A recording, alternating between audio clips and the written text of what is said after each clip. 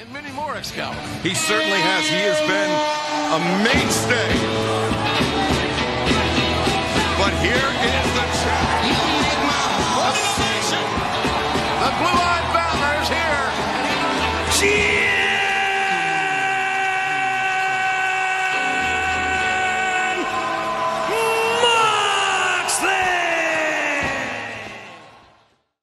Welcome to Jobbed Out, the wrestling editorial that reminds you that just because a billionaire can doesn't mean a billionaire should.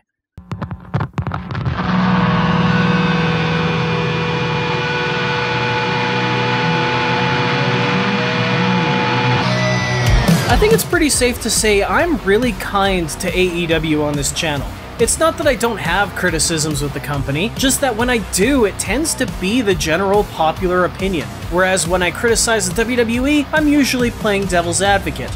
But something that I thought initially was a cool gesture, then became a bit odd, now's just a bad idea. Today we're talking about Jon Moxley, and you know what? For the sake of people watching right now, I'm changing the music bed to prove a point. One sec.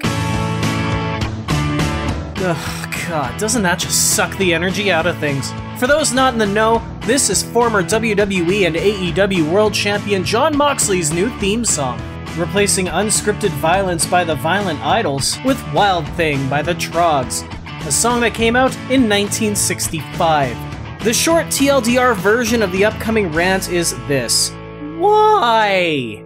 Now, I get that Tony Khan has been flashing money to acquire music licenses for his favorite performers. It began with Brodie Lee's tribute show, where he acquired the rights in perpetuity to Old 55 by Tom Waits. The purpose being that music distributors couldn't pull down the tribute, citing copyright ownership over the audio. Shortly after that, Tony Khan gave Jungle Boy one hell of a Christmas gift the rights to Baltimora's Tarzan Boy.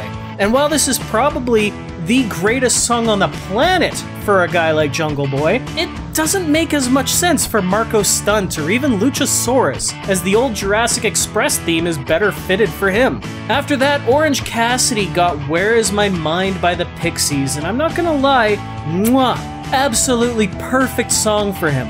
It's a slacker stoner high school anthem fit for a man whose gimmick is a slacker stoner who has all the energy in the world but doesn't exert it unless he has to. However, now Kris Statlander, Chuck Taylor, and Trent Beretta, the sorry, Trent, all use this song too, and it just doesn't fit them like it fits the freshly squeezed one. Now the ass-kicking deathmatch anarchist dude is coming to the ring to what is universally accepted as a love song.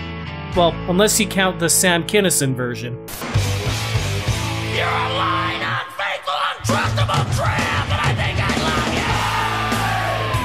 A big problem amongst all these songs versus their original tracks is that none of these things are instrumentals or karaoke tracks. That means commentary gets drowned out with the vocals, generally ruining the focus of the viewer. If the song I played underneath my voiceover right now has vocals, it becomes tougher for you, right? If you're listening because you like my commentary, you've got vocals competing with it. If you're listening because you like the song, you've got me interrupting it. Alright, enough of that. Yeesh. And we're not even getting down to the terms of these music deals.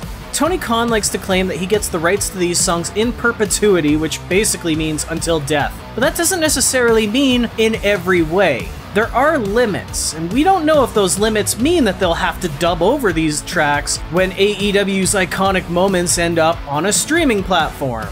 It doesn't mean that they won't have to dub these tracks in video games, or if these songs have impact on shop items like albums or iTunes or Spotify.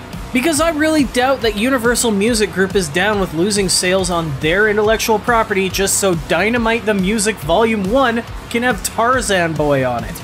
And why is Tony Khan going after the classic songs? Does he really think people under 20 know or care who the Pixies are?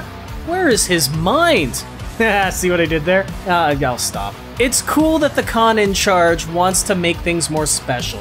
Let's be honest, the Sandman's iconic entrance isn't iconic unless Metallica's playing behind it. But just because you can doesn't mean you should. This guy is spending hundreds of thousands of dollars to get the rights to theme songs for people that won't necessarily be in the company five years from now.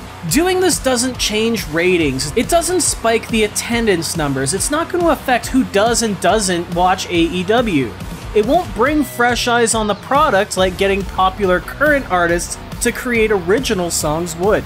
This money would be better spent elsewhere, like, I don't know, advertising Dynamite on other shows.